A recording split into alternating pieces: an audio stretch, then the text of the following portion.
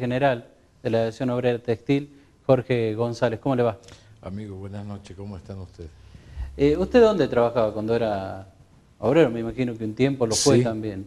Exactamente. ¿Era eh, textil o un tiempo, Un tiempo bastante largo. 20 años de obrero textil, por supuesto a las par de las máquinas. Fui hilandero, fui tejedor. ¿En eh, dónde? Eh, Alpargata Textil, en, la planta de Sumalaba. Ahí dejé 20 años. gracias a Dios, digamos, hemos recorrido o hemos hecho una trayectoria dentro de la empresa eh, buena, buena. Por eso la gente, por supuesto, en aquellos momentos ha confiado, digamos, en un equipo de gente que se formó y...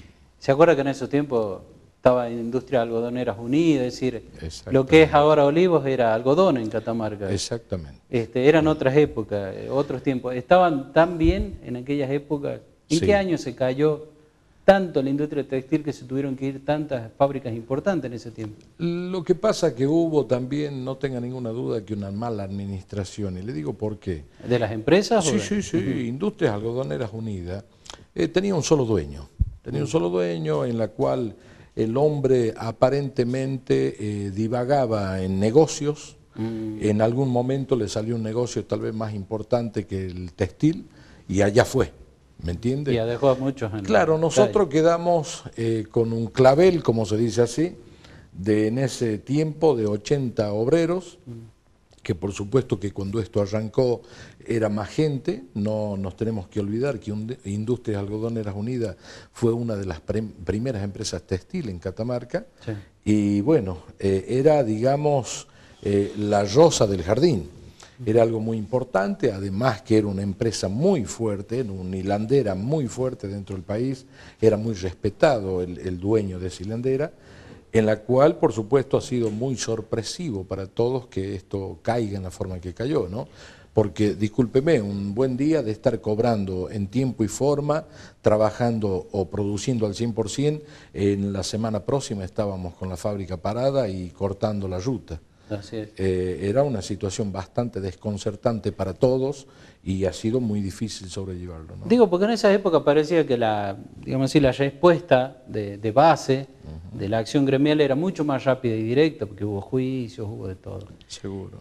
Oye, había, ahora me cuenta, hace un rato me contaba, yo, yo le decía, yo lo traía para que cuente lo difícil de la situación, hace un tiempo habíamos hablado y ahora me dice que dio un, gran giro la, eh, situación. Pero, pero fíjese usted, estuvimos en una situación muy dura, muy difícil, en la cual acá eh, yo Esto hace dos, tres semanas. Exactamente, yo creo que para que nos entendamos los argentinos tenemos que empezar a hablar claro. Mm.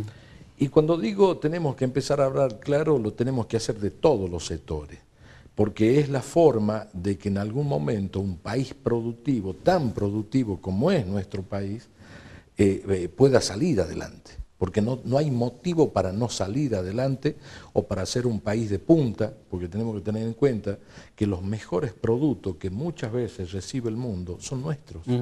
Y los mejores alimentos que recibe el mundo son nuestros. Y muchas veces es inentendible que nosotros tengamos que vivir como vivimos al momento de tener un país tan productivo. Y cuando le digo, eh, tenemos que ser sinceros y empezar a decir verdades, y esto viene aparejado a la situación que cuando nosotros nos empiezan a suspender la gente, nos empiezan a vacacionar la gente antes de tiempo, por supuesto veíamos una crisis bastante dura, principalmente que los países asiáticos no tenían ninguna piedra en el camino para meter sus productos en, nuestro país, en la cual nos tapaban. todos los argentinos somos testigos. Usted, perdón, usted justamente en una nota que dio a este canal, decía que eh, le iban a pedir este, los textiles del país a, Cristina Kirchner de que ponga trabas justamente a la importación de telas justamente de, Seguro. ¿Esto sucedió? Digo, ¿esto contribuyó? Sí. sí, sí, contribuye muchísimo. Fíjese, nosotros eh, a gritos, junto con la Comisión Directiva Nacional, le pedíamos a esta, a esta presidenta de que ponga una traba eh, de aranceles, o sea que sea más caro meter productos de otros países del mundo, principalmente los asiáticos, a nuestro país. Y fíjese lo que pasaba, yo siempre invitaba a cualquier periodista que me hacía una nota a que recorra nuestro centro, que es la calle Rivadavia, que es muy chiquito a comparación de lo que son los centros más, más grandes, y que vea qué encontraba o que diga industria argentina. No había absolutamente nada. Y todavía no hay absolutamente nada. Guarda que esto es, realmente alarmante, porque usted va a comprar una lapicera, viene de Brasil, va a comprar un plato, viene de Taiwán, va a comprar una zapatilla, viene de China, de Vietnam, de cualquier parte del mundo, y nosotros no hay absolutamente nada.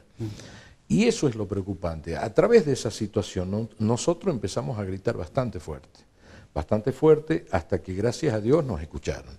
Esa situación se frenó porque los aranceles para meter productos en nuestro país son bastante altos. Ahora. Eh, ahora. Eso significa que hace aproximadamente tres meses atrás, mire lo que le digo, tres meses atrás o cuatro meses atrás, los productos nuestros eh, tienen un gran valor.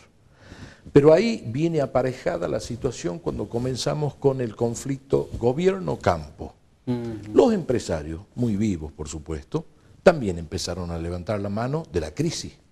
Y dijeron, nosotros también estamos en crisis. Nosotros también estamos mal. Claro, y la crisis que había en ese momento era simplemente que el camión que venía con el algodón, con la materia prima para hacer un producto terminado, no pasaba porque la ruta estaba cortada. No llegaba a la fábrica. Pero la crisis que ellos realmente acusaban no era tal. Nosotros la estábamos viendo. Perdón, no era tal. Ustedes lo veían, pero sin embargo eh, había vacaciones, como decía, se daban vacaciones, se disminuyeron los días de trabajo. Exactamente, exactamente. ¿Por qué? Porque esa crisis llegó a un gobierno, a un Estado nacional, a donde a todos nos dijeron, hay crisis, mm. estamos en crisis. Nosotros muchas veces éramos temerosos de esa crisis. ¿Por qué? Usted bien sabe que en Catamarca tenemos un altísimo índice de desocupación. Nosotros muchas veces eh, no podemos joder con la fuente de trabajo. Esto no significa eh, entregarse ni, nada por el estilo, sino simplemente que hay que ser prudente. Está bien, justamente hablan de eso y vuelvo a lo que dije, que en los 80 parecía todo más virulento. Usted dijo en una nota, eh, los trabajadores tienen más miedo que bronca.